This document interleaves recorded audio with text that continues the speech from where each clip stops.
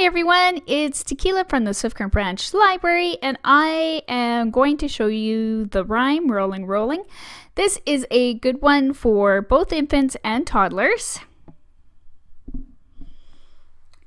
So you can show them how to roll their hands. You can show them how to roll their hands, or you can sit them in your lap and roll their hands for them. Here we go. Rolling, rolling, little hands rolling down the street. Rolling, rolling, little hands rolling, rolling down the street. Rolling slowly,